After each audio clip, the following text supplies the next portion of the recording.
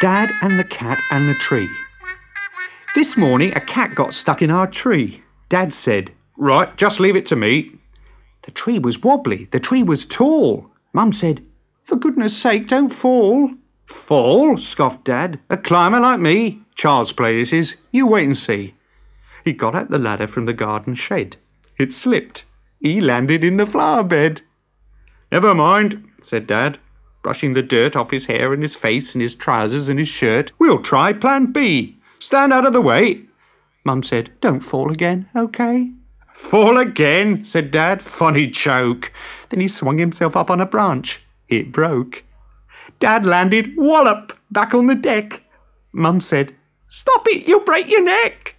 Rubbish, said Dad. Now we'll try plan C. Easy as winking to a climber like me. Then he climbed up high on the garden wall. Guess what? He didn't fall. He gave a great leap and he landed flat in the crook of the tree trunk, right on the cat. The cat gave a yell and sprang to the ground, pleased as punch to be safe and sound. So it's smiling and smirking, smug as can be, but poor old dad still stuck up the tree.